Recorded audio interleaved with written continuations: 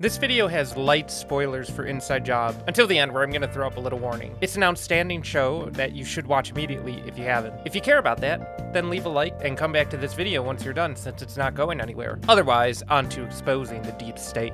For the past few years, I've really been off put by American 2D animation. It seems like thought provoking stories with arcs that you actually cared about were getting sidelined for the next Family Guy or Rick and Morty clone, forcing me to look east for the vast majority of my entertainment consumption. But that's not saying there isn't anything good that came out of America. Futurama to this day remains one of my favorite series ever. Gravity Falls is a show that I fell in love with because it pushed the envelope on what kinds of overarching stories can be told through animation. They had characters I cared about about enough to remember long after I finished the series, and I can always see myself returning to them because they never overstate their welcome. That's in sharp contrast to your Simpsons or Family Guy that had impeccable starts and then became shells of their former selves after years and years of renewals. Zombies, if you will. And after its second season, Rick and Morty crapped the bed so hard because it squandered an interesting premise in place of overly nihilistic counterculture and meta humor that undercut any tension that had been built up. And it seems like Netflix and HBO Max were throwing everything at the wall, trying to recapture what made those shows so popular. This inevitably created a quantity over quality war that's currently being waged on these platforms. See, this wasn't really a problem when streaming services weren't as big as they are right now, and the only shameless clones were American Dad and The Cleveland Show. But now everything feels like a sea of sludge that you just have to wade through every time you doom scroll the streaming library. Brickleberry, Paradise PD, Farzar, The Prince,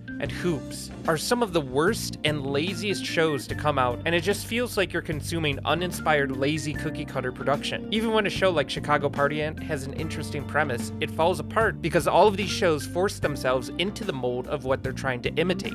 However, the worst offender of the downward spiral in American adult animation is spearheaded by Big Mouth. Like, you can't tell me all six of these seasons about children having sex have perfect critic scores. I mean, who is actually watching this crap? Everyone I know, anecdotally, has said that it is cringy, edgy, and a terrible show, yet it continues to get renewed season after season. I think the show almost single handedly bolstered the stereotype of ugly American animation, being so popular that it was juxtaposed against the character design of Code Geass in my university's Japanese culture class. I'm not saying there are no talented people behind any of these shows, but you gotta call a spade a spade. The premises are derivative at best and downright appalling at worst. See, we should have known that after Cuties, Netflix just has an unhealthy obsession with this type of content. But the prevalence of Big Mouth is directly attributed to what Netflix's CEO recently said in regards to the claim that they've never canceled a successful show. Quote, We've never canceled a successful show. A lot of these shows were well intentioned, but talked to a very small audience on a very big budget. The key to it is you have to be able to talk to a small audience on a small budget and a large audience at a large budget. If you do that well, you can do that forever. So you can finally see why a show like this is slated for season after season of renews. It looks cheap,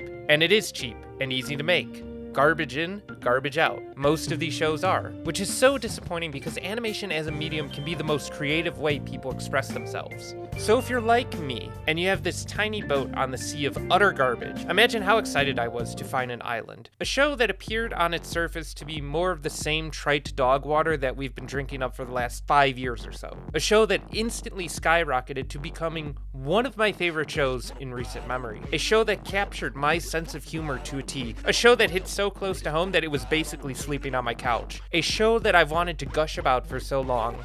A show that was recently canceled before it had a chance to fully spread its wings. This is everything Inside Job did right.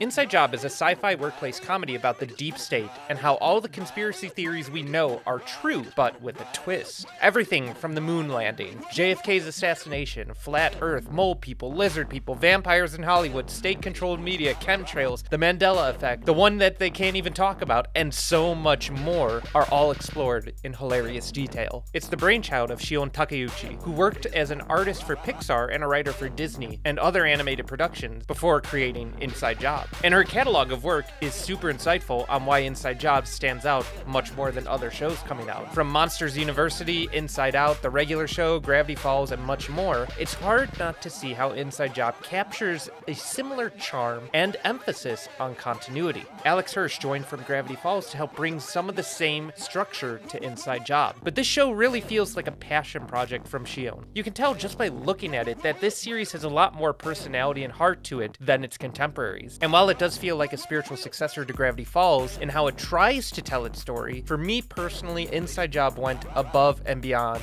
in a shorter period of time. Inside Job is the most relatable show I have ever watched. It's a bit unnerving how many parallels I see between myself and the socially awkward, brilliant engineer of a main character, Reagan Ridley. Everyone else be like, Patrick Bateman's literally me, for real, for real. And I'm like, nah, fam, Reagan's literally me, for real, for real. And I want to express why, but in order to do that, I need to go over why the premise of Inside Job works so well. The continuity and the world building of this show are excellent because of the subject matter conspiracy theories. Inside Job never shies away from direct references to real people, events, and trends by calling them by their real names instead of worrying about copyright infringement and creating fake characters that are supposed to be based off of real world equivalent. In this way, Inside Job is an equal opportunity offender. Look at their shirts. Criminalize laws, save the whales but kill all the bees. My other Volkswagen is an assault rifle. What the fuck does that even mean? Libertarians make no sense. Inside Job takes multiple pod shots at people and movements across the political spectrum. Despite the show being fairly niche in its type of humor, this makes it very accessible to audiences who can get sucked in. Heck, my dad, who's not in the STEM fields like me, watched an episode and was skeptical at first, but was laughing really hard by the end of it. I know one common critique of Inside Job is the reference humor. Inside Job, more like inside joke but I actually think it enhances the experience even further. This could be because the structure of the jokes in Inside Job are a cocktail of reference humor, deadpan, science satire, and observational humor. A minimal amount of cutaway gags are used, which I really appreciate. I can understand that if you don't get the references, it might be a tad annoying, but they're not terribly uncommon, and I caught roughly 98% of them, considering the show does reference tons of my hobbies as a science oriented thinker and worker. Watching inside job is like seeing my engineering and internet brain rot that I could never put into words finally be born through this show. It's the only show in 2022 that made me laugh out loud. But the reason the reference humor works so well, specifically for this show and less so for other shows in the animation genre, is because conspiracy theories at their core are just big references. You either know them or you don't. It works perfectly because the subject matter of the show complements it so well. And the way these jokes and references are interwoven into the plot itself is awesome too. Even the titles of each episode are amazing and intelligent play on words. And once again, references to other things. I think reference humor in a show about references oozes so much creativity. And this directly bolsters one of the best aspects of Inside Job the world building. See, world building is pretty easy when you're a shadow government and you can build the world into being whatever you want it to be. And with the lore dump the show provided at the end of the first season, it's insane how much potential an IP like this really has. I think my favorite example of world building comes from probably my favorite episode, We Found Love in a Popeless Place, where the shadow organization Cognito Inc. is contracted by the Holy Catholic Church to build a hell themed theme park under Rome using old Disney animatronic tech that's going to be used to convert more people to the Catholic Church. If that sounded ridiculous, it is, and that's why this show is amazing. But what makes this specific episode even better is that it splits the gang up with Reagan and her boyfriend from the Illuminati, a rival company to Cognito Ron, and have them accidentally raise hell in Rome while the rest of the cast is stuck in actual hell, the Denver International Airport. Whether it's the portal to Hollow Earth, a colony of hippies on the moon, the constant lambasting of Atlantis, Sure, we may have messed up in the past, but not as bad as those idiot Atlanteans. Fuck Atlantis! the Burning Man ripoff Bohemian Grove, Yale being full of reptoids, or Still Valley trapped in the 80s by chemtrails, each set piece is used to show you the influence and also incompetence of the shadow government. What helps the world feel like our own is that it's beautifully drawn. Even the backgrounds, like look at how these are made. It manages to stylize them with little markings of color as if the world itself is pinned on a corkboard, which segues nicely into the animation being so fluid. The show doesn't look like crap. and it probably was much more expensive than all the other Netflix animated shows to come out recently were. And as season 1 progresses, the animation's allowed to get a lot more experimental, like when Glenn and Andre are eating the Enlightenment shrooms. This show is incredibly kinetic, and it never feels cheap or lazy. Fight scenes and action moments hit so hard because the framing is so on point, and you can feel the inspiration it takes from Japanese anime. But none of this would matter if the stories and characters weren't solid too. Amazingly, Inside Job hits the nail on the head with that one as well. I'll talk about the plot briefly first because I want to delve into how inspired the main cast is. The general plot of Inside Job follows Reagan Ridley in her quest to run the company that shadow governs the world, Cognito Inc. When we first meet Reagan, she's given the promotion to manage her team, the cast that we spend most of the show with. Gigi Thompson runs mass media manipulation, Glenn Dolphin is the first human dolphin hybrid military meathead, Andre Lee is the narcotics head of the organization, and Mike Celium is the mind reading mushroom from Hollow Earth whose jucus is used to. whose jucus is used in. whose Jucus is used in the company's mind wipe tech. While on the precipice of the promotion, Reagan is told by the current CEO, JR, that her people skills are just so bad that they need a yes man to ease productivity back up. That being the lovable frat boy himbo, Brett Hand. Dismayed, Reagan is pushed out of the company like her alcoholic father and co founder, Rand Ridley, just after solving AI and replacing the president with a robot. A robotus, if you will. But when Brett isn't able to lead the team and the AI goes rogue, Reagan and Brett come together to stop the president and keep the shadow government from being exposed. However, in secret, Reagan salvaged the murderous AI and stores it in the basement of Cognito. Wow, okay, that was a lot, and that's just episode one. Part one of season one spends most of the time world building. We're given a tour of different conspiracies from Reagan's perspective, and it really shows how layered she can be. The characters are allowed to explain the twists on each conspiracy to Brett because he's new. This makes it a lot less forced when the show has to give exposition for its premises. Reagan's frustrations with her parents lead her to counsel with the trapped AI, now named Alpha Beta. As the gang goes through wacky antics and parodies a ton of famous IP, this leads to a whodunit at the end of part 1, where Rand is reintroduced to the company under pretty ridiculous circumstances. Part 1's strongest character moments come from Reagan herself, while the seeds of development are planted for the rest of the cast. Part 2 starts with Reagan at her lowest, which parallels beautifully to Rand at the beginning of Part 1. Everyone besides Brett seemingly giving up on her leads her to Anonymous Anonymous, an Alcoholics Anonymous for the Shadow Government, where she meets Ron Statler, an agent for the rival company, the Illuminati. Through their shared discontent for the companies they work for, Reagan and Ron manage to build a relationship and have believable, adorable chemistry as Reagan climbs closer and closer to her goal of taking control of Cognito. Meanwhile, the seeds of character development for Brett and Rand are finally budding into beautiful flowers, but there's still so many mysteries to uncover about the Shadow World. I mean, this show even has an in universe solution to the plot holes, and it cracks me up every time I hear it. to our timeline has caused a number of minor inconsistencies, plot holes, if you will. These plot holes were all caused by the machine. Very satisfying. Future stuff too. All of the voices for the cast are just perfect. I mean, Christian Slater, the voice of Rand, also narrated Dinosaur Planet from the Discovery Channel, which was a great part of my childhood and is even funnier to revisit now. There's no food here. Just sex. And I can't get over how well designed these characters are. For example, the asymmetry in Reagan, Glenn, and Alpha Beta makes them some of my favorite designs in the cast. The clean sleekness of JR clashes against the rugged look of Rand. Brett is essentially the physical manifestation of Comic Sans, and Mike's design is just wildly creative. All these characters, besides Brett, have strong silhouettes, a sign of excellent character design. And let's talk about the character names for a moment. This show is really sneaky about slipping in a ton of references. The main power couple of part two of season one, Ron and Reagan, is a nice nod to all of the conspiracy theories from the 1980s and the 40th president. Rand is a direct reference to Ayn Rand, the philosopher and thought leader of the libertarian movement, which the show actively jokes about. And I have a strong suspicion that JR's name is a reference to Dallas's JR, as Who Shot JR became not only one of the most viewed moments in television history, but a massive source of conspiracy theories that spread at the time. Now, I could talk about some of my favorite jokes or character moments, but we'd be here for hours on end. So, what I wanted to talk about is something a bit more personal and tell you why this show spoke to me on a deeper level.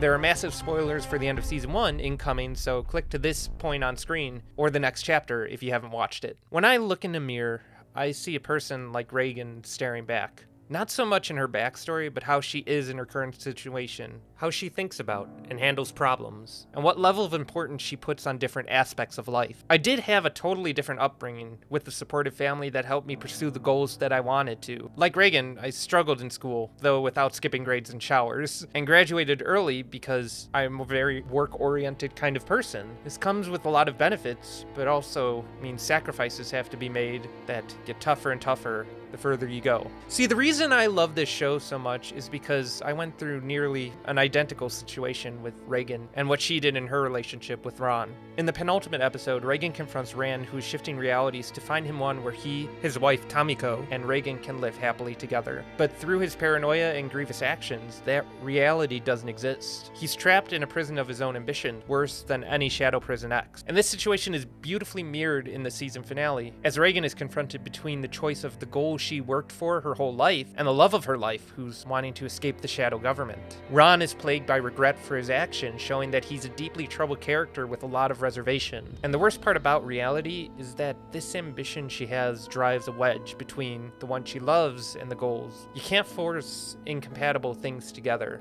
As Reagan learned, viewing simulations of every possible reality where her and Ron stay together. And she realizes she can't do it. She wipes herself from Ron's mind so that he can live a happy life in Appleton, Wisconsin with someone else. The reason this scene felt worse than any punch to the gut is because this happened to me. Minus the whole mind wiping thing, but I too had to leave someone I loved in the Midwest because of circumstances that my work forced me into. But work itself really didn't force me. I made that choice. You don't graduate college early, work overtime, and accomplish good results at work, receive awards and raises just to slow down. I'm not ready to slow down yet, and neither is Reagan. I'm at a similar stage in life to Reagan where I'm trying to establish myself in a huge corporation, and I have that drive and tenacity like her to make it work, but I have to leave so many things behind just to do that. I don't rely on YouTube as a job because I'm one of the many engineers making the world work and allowing people to have YouTube as a career option. Because I don't slow down, I actually got to accomplish a goal that I've had six years prior in going to Japan. But all that comes at a cost. While I was in Japan, I was alone and given plenty of time to think about these things. Reality hit me in that the world where I'm moving a million miles a minute, I'm probably not in a position to force someone to fit into my box. And I can't ask people to leave school for me. I can't do long distance halfway across the country, let alone halfway across the world. But I know that in doing this, I'm fulfilling my purpose in life. A purpose that others see in me, just like how others see it in Reagan. And that's why I was bawling my eyes out during the finale and getting a little choked up right now, even talking about this stuff. Yeah, I've never seen a show that fully encapsulates a deeply personal situation I've lived through, especially not an animated show. And I don't think it would be the same if another show did it. There's just something so special about the series that just clicks with me, showing me that it's going to be all right, that I made the right decision. And given the time I've had to reflect on this stuff, I finally got a chance to verbally express it through this video. And yeah, I want to thank you for listening. I've found a solution. One where Statler doesn't have to live with the memory of our breakup. Oh, but you do. Yeah, I didn't want to forget.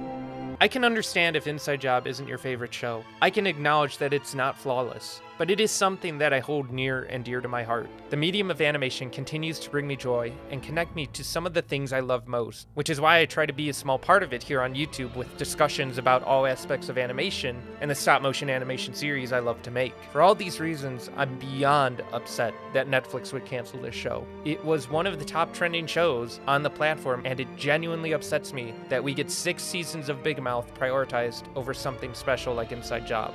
And if I was a rich millionaire with engineering money, not like I have it now, but maybe one day I would have it, no matter how much it cost, I'd fund the completion of this story any way possible. If I had the money to give, I would to make Inside Job work. People often ask why I vilify Netflix so much in my videos, and this is primarily because this is the second time they've taken a series I love and messed it up intentionally just for the corporate bottom line. I mean, I talk about JoJo's Bizarre Adventure a lot on this channel, and the mistreatment of Part 6 really affected my enjoyment of that season. And the many talented people who worked on Inside Job didn't need this to happen to them. And the greatest irony of all of this is that Netflix has the audacity to tweet out animation is art the day after they cancel one of the most creative animation projects on their platform. Now, Inside Job might have been canceled at the right time, though. Netflix has shown time and again that they don't respect animation. But the same week that Inside Job was canceled, Justin Roiland, the voice actor for both Rick and Morty, was arrested and facing felony charges for domestic abuse. While these charges were fake, trumped up, and eventually dropped, he's not working with Adult Swim anymore. Now, Adult Swim has a Rick and Morty shaped hole in it, even though they're committed to going to season 10. I don't think that's going to pan out the way they want it to, but I imagine the quality of Rick and Morty is going to decline even further. There's a chance a show like Inside Job could dethrone that in ratings. I genuinely believe that. And I just so happen to leave some petitions in the description of this video asking for the network to pick the show up. By making this video, I just hope to show some kind of love and appreciation for the series. And I really hope someone at Adult Swim or one of the other services out there is listening. So that's the video. I just wanted to thank you all for sticking around and being out there to let me talk about the things I love. If you want more videos like this, be sure to leave a like, subscribe, and comment for what you'd like to see next on the channel. Have a beautiful Nuang, and I'll see you all next time.